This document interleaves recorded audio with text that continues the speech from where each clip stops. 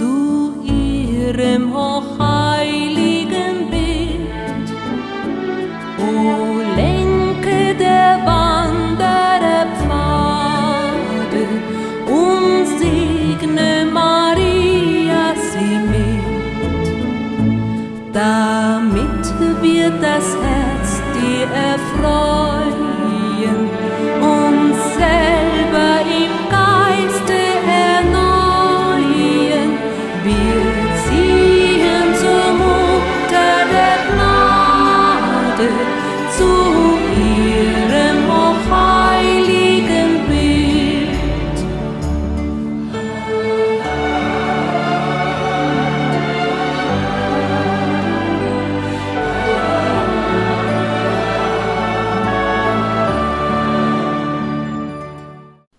Von Perle zu Perle pilgern auf dem fränkischen Marienweg. Von der Marienkapelle Bad Kissingen zu Maria Geburt Windheim. Mit 21 Kilometer ist der Wallfahrtsweg diesmal nicht allzu weit. Der letzte Abschnitt des Weges führt durch einen schattigen Mischwald.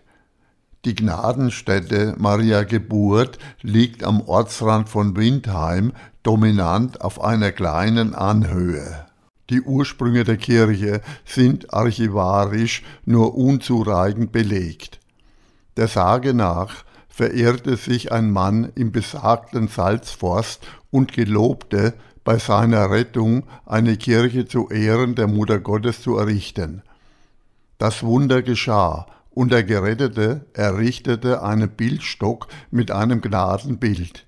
Wenig später entstand an der Stelle eine erste Kapelle mit gotischem Chor und Kreuzrippengewölbe. Die heutige Kirche wurde zwischen 1820 und 1843 im klassizistischen Stil errichtet, wobei der mittelalterliche Chor als Sakristei enthalten blieb. Das Gotteshaus ist ein Saalbau mit flacher Decke und eingezogenen Chor. Das Innere des Kirchenraums wird dominiert von der Kanzel und den drei Altären. Der mächtige, viersäulige Hochaltar füllt das gesamte Chorhaupt aus. Im Zentrum ein Gemälde mit dem gekreuzigten Heiland mit einer tiefen theologischen Aussage. Im Hintergrund im Halbdunkel die Stadt Jerusalem, Lukas 23, 44. Und es war schon um die sechste Stunde, und es kam eine Finsternis über das ganze Land bis zur neunten Stunde. Der gekreuzigte Heiland im Vordergrund, vom göttlichen Licht erhellt, wirkt jugendlich und losgelöst vom Kreuz, das in der Dunkelheit nur noch schemenhaft zu erkennen ist. Unter dem Kreuz stehen in einer ergreifenden Haltung links die Gottesmutter und rechts der Apostel Johannes, der einzige Apostel, der unter dem Kreuz stand und sich nicht versteckt hatte. Unter dem Kreuz ein reich verzierter, zweigeschossiger Tabernakel als das Haus Gottes unter den Menschen, flankiert von zwei anbetenden Engeln. Auf den Türen der Ziboriumsnische das Alpha und das Omega aus der Offenbarung 1.8.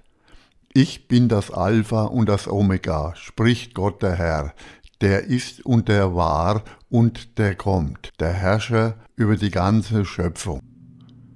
Die Türen der Expositionsnische sind verziert mit zwei Vasen, aus denen Weinreben und Weizenähren wachsen, als Hinweis auf das letzte Abendmahl. Lukas 22, 17 bis 19. Der Tabernakel wird bekrönt von dem Lamm mit dem Buch und den sieben Siegeln aus der Offenbarung. Johannes 6,1 Den Abschluss des Altars bildet ein Aufsatz, geschmückt mit zwei Vasen. Im Zentrum ein Medaillon mit der Inschrift Gott ist die Liebe. 1. Johannesbrief 4,16 und darüber in einer Wolkengloriole mit Strahlenkranz verziert mit Engelsköpfen das Auge Gottes, das Symbol des dreifaltigen Gottes. Die beiden zweisäuligen, schräg gestellten Seitenaltäre sind schlicht gehalten und gleichen sich im Aufbau. Das Altarblatt des linken Seitenaltars zeigt die Verkündigung Mariens, seitlich davon rechts der heilige Joachim, der Vater Mariens, und links die heilige Anna, die Mutter Mariens. Im Aufsatz, der von zwei kleinen Engeln flankiert wird, eine sogenannte Veronika, ein Abbild des Schweißtuches Jesu Christi.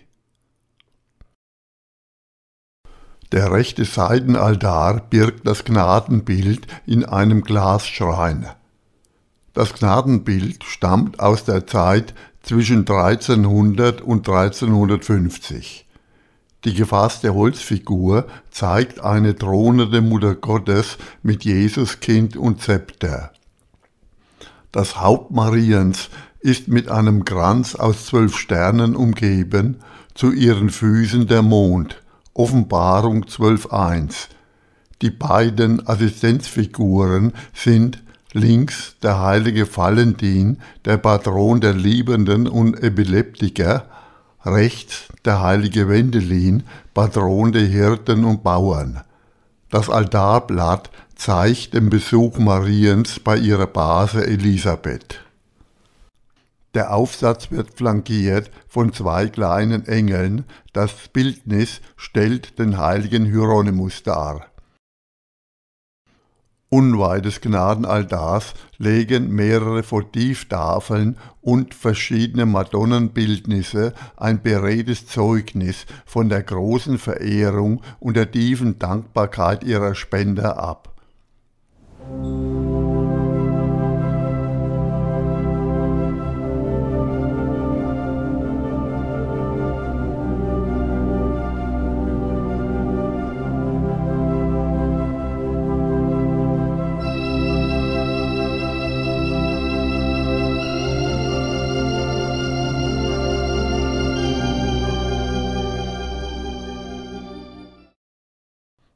Die Kanzel aus dem Jahr 1825 ist schlicht gehalten.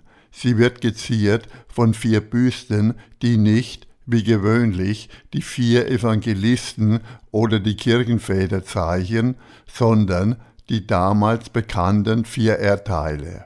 Auf dem Schalldeckel thront der gute Hirte. Ein Kreuzweg und zahlreiche Heiligenfiguren teilweise unbekannter Herkunft schmücken den gesamten Kirchenraum. An der rechten Langhauswand vorne eine Figur des Herzen Jesu, im Anschluss der heilige Josef mit dem segnenden Jesuskind, das die Weltkugel in der Hand hält. Danach folgt der heilige Valentin als Patron der Liebenden und Epileptiker. Zum Schluss der heilige Bruder Konrad, ein Heiliger unserer Zeit. An der linken Langhauswand eine Marienfigur mit einem goldbestickten blauen Mantel der Farbe des Himmels. Es folgt die heilige Elisabeth von Thüringen mit einem Armen zu ihren Füßen, den sie ein Stück Brot gibt. Neben der Kanzel die Gottesmutter Maria als apokalyptische Frau, den Mond unter ihren Füßen, sie zertritt der Schlange, den Symbol des Bösen, den Kopf. Im Chor, neben dem Eingang zur Sakristei, der Frankenapostel Kilian. Die erste Orgel von 1778 wurde 1902 von der Orgelbaufirma Schlimbach ersetzt. Das Instrument verfügt über zehn klingende Register, die auf zwei Manuale und Pedal verteilt sind. In jüngerer Zeit kam es zu einem langsamen Wiederaufleben der Windheimer Wallfahrt. In den letzten Jahrzehnten wallen auch an den traditionellen Festen Maria Geburt und Sieben Schmerzen Maria wieder Prozessionen und Wallfahrten aus den umliegenden Orten nach Windheim.